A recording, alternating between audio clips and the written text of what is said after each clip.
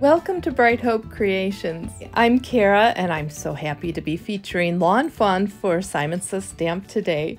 We're going to use the special delivery stamps and coordinating dies, Den Sweet Den, just a couple of stamps, and some words from Dad Plus Me, and trees before and afters.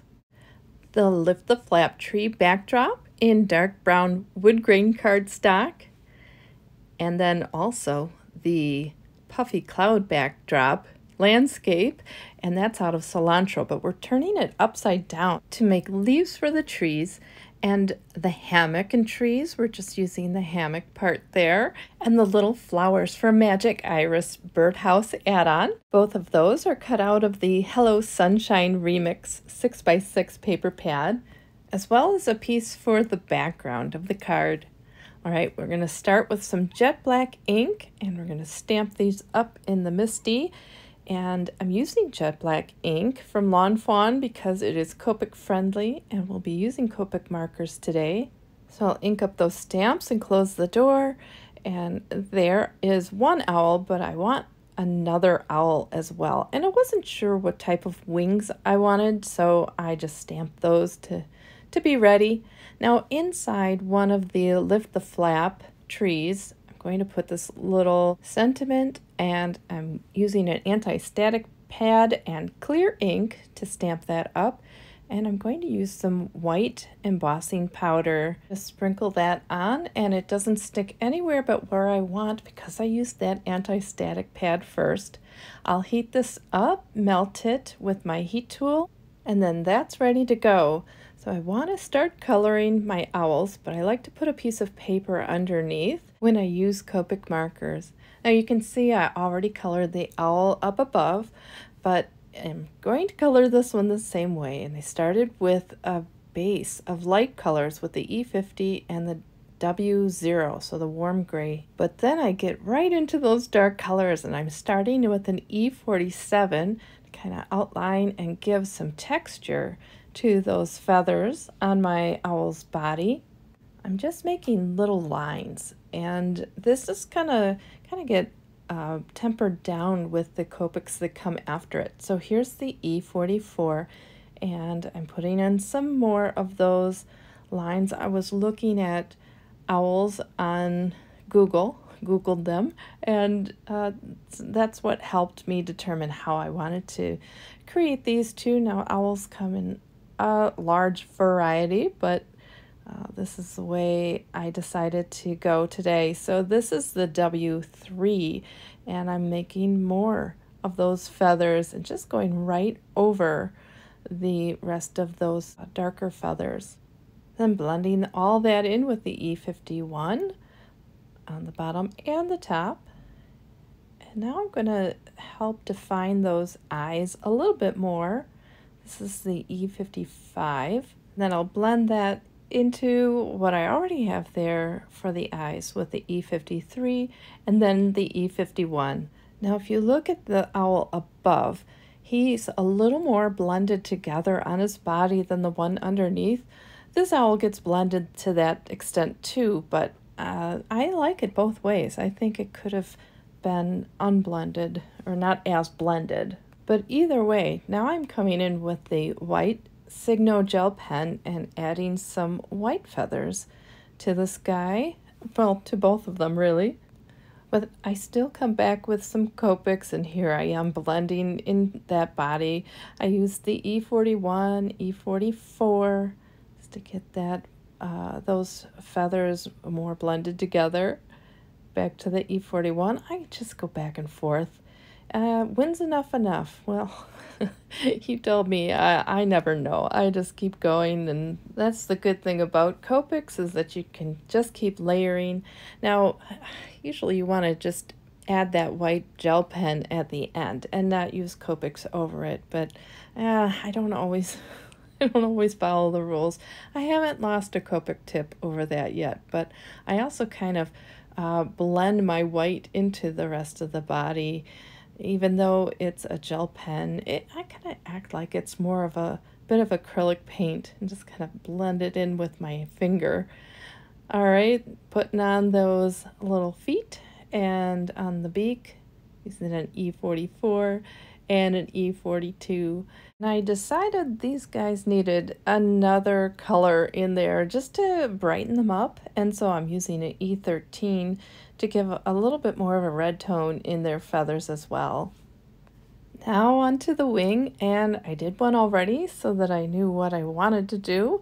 Uh, that is an E51, and then I'm kind of defining the different wing feathers with the W3 and then putting in kind of a stripy look with the E44 and also with that E13 and then kind of blending it a little bit together with the W3 again.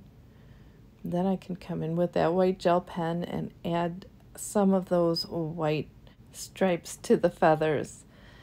All right, I kind of blend that together with my finger and come back in and darken up some of those lines that got too blended away and then um, just again layering those colors and blending it but still trying to keep the texture showing. Now in the special delivery stamp set these wings go great with the waving pull tabs starter kit die set and uh, so they flap behind the the owl or the bird if you want them to with the pull tab, but I'm going to use them a little differently today. If I was to use them as flapping wings, I would only color one wing, like the right wing, and then I would stamp it again and only color the left wing so that when I cut them out, I would have them separate. But uh, today I'm going to use them so that he can hold his little book. So I'm actually going to reverse these wings and I'll show you that better later when I put this together. All right, just finishing up coloring in some books and I chose colors from my background in order to get books that uh, kind of matched up there. And now I'm going to cut everything out with the coordinating dies.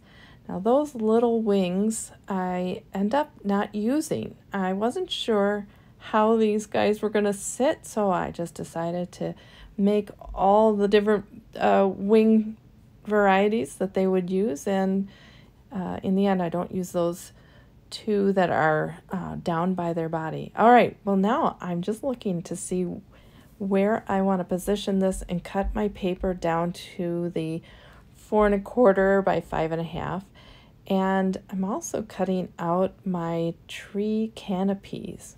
I know this top row will go across the top of my card, but then I'm going to keep two attached and that will give me a wider section for the back behind the trees. And I don't end up using the bottom part of that backdrop. So now I'm getting out my Lawn Fawn cilantro and artichoke ink. I decide just to use the cilantro ink on these, but I'm going to ink blend the, the leaves, give it a little more definition there. So it's always fun to find new uses for a die. And so this, of course, is the puffy cloud backdrop, but it works perfectly for large groups of leaves like this. It also could be bushes if I had it uh, going the other way but you can see how much that inking has changed it. It gives it more dimension than just that flat look. So I'm going to do the leaves that will go on the back of the tree. And so I put that little piece of paper in there so that I could get just at the edges and not the entire die cut. Give it a little um, division there. And then finish up with the leaves at the bottom, the edges, and then ink blend the inside of the tree. And this is that little sentiment I embossed from Special Delivery, You Are a Hoot. and I'm ink blending around that little sentiment so that it kind of brings the eye right to it. I'm, I'm using walnut and black licorice. This reminds me of that Woodsy the Owl when I was a kid, the campaign about uh, give a hoot, don't pollute. Help Woodsy spread the word. Never be a dirty bird in the city or in the woods. Help keep America looking good. That's my public service announcement for the day as I clean the ink off my glass mat. All right, back to our card. So I'm just cutting out the uh, background of the tree so that I know that it will fit back there and not show in front. I tried to put a little bit of tape runner on there, but decided to put some glue on so I knew that it would hold better so you can open up that flap and see the sentiment inside. I'm going to add another back to another one of those holes so that when the owl is in there, if any of the background shows up, you would just see brown. And I ink blended it the same way so rather than seeing the sky coming through the hole, you would see an inside of a tree. Now the middle one, I'm not going to do anything with that because our owl in the hammock is going to cover that up and so it doesn't need to open at all. Well, I'm deciding how low I want that back part to be for the tree leaves and then I just cut that straight across and put some adhesive on the back and then just add that to my panel. And then I decided not to glue down the tree backdrop yet, but I wanted to put the canopy of leaves on the front, so I added some glue to the trees and there are the leaves. All right, now for the little fun intricate parts. So here's everything cut out and I'm just deciding where everything was going to go. I didn't put that tree backdrop onto the panel yet because I wanted to be able to uh, move things around if I needed to or come from the back of the trees if I had to. But then I decided, yeah, I can get this all in without moving that around. So I'm adding it now to the panel and you can see my owl is already tucked into that hole in the tree and he I could have put his wings that are down next to him or behind him, but decided that they weren't necessary. But then his little friend in the hammock, he's going to be reading the books. So he's got the pile of books in there with him. So he has quite a few to choose from. And then I wanted to decide how high up this book was going to be, where his arms should be. Just, I wanted to make sure you could still see his face. So I'm going to cut out these two wings and the right wing is going to go on the left side of his body and the left wing on the right. I just folded the wing behind him and then the other wing up there, fold that behind that side of his body. And now he can be holding that book with his wings put a little glue on the back of that wing and then set it on the back of his body there. Just hold that for a little bit so it stays set. And then I can glue the other wing to the back of his body. Now I'm not gluing his wings to the book yet because I want to be able to play around a little bit with that. I'm creasing the book at the spine, the two lines that uh, make the spine so that the book has a bit of dimension as well. And now I can uh, glue that onto his wings so that he holds that book and it's a little bit out from his body just to give some dimension and the owl's face isn't covered up at all. Put a little glue on his wing and pinch that together and hold it and then be patient and hold it. but now that I put him in the hammock, I want his wing to kind of uh, sit in front of the side of the hammock. I could have just tucked it in, but in order to get it in front, I just clipped the wing a little bit so that now his wings are kind of in front of that hammock. The hammock die set has a back to the hammock that's solid, but I wanted to use another one with the uh, mesh look to it so that it looked like there was mesh behind as well. Uh, the solid one's great for like if I was hanging him and he was going to be suspended, but for my purpose, it was nice to be able to see that hammock uh, all the way through to see that there's more, give it more texture really. So there he is in his hammock and it's glued together. And then I'm just going to make sure that his toe isn't coming out. I just clipped his toenail a little bit so that he's not hanging out there. And then tuck those books in behind him and I can put a little glue on there so that it'll sit nice on those trees. Some on the edges, and then with this hammock edges, the the little ropes, I'm just pushing them so that they look like they are going to go around the tree limbs a little bit. You can see over here too. Just kind of get them moved so they they look like they're tied to the tree glue down the owl in the hole so he doesn't fly away. And now I'm putting some flowers in in the tree. Now, I don't know if this tree would really have blossoms, but I thought it was a nice way to move that color across the card a bit. So we have that color at the top. I'm using a stylus and just a piece of foam and pushing that in to the foam, the, the little flowers. And then uh, that gives it a little bit more dimension. But as you can see here, they were a, a little too cupped. So I'm just taking my finger and lightly uh, bringing the back, flattening them out a little bit, and then I'll glue each one on there. Now they are all that pink color, but I thought it was nice to have a variation so I flipped a couple over, or a few over, and so there's a few white in there as well. Just kind of broke up the color in that. All right, well, now it's time for that sentiment. The first word, owl, comes from this special delivery.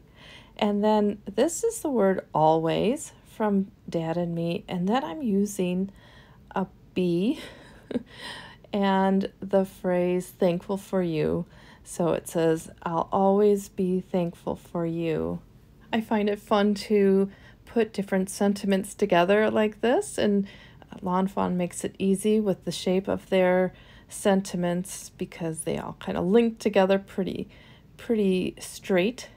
So I have them all together and just a little bit of uh, nudging with my stylus.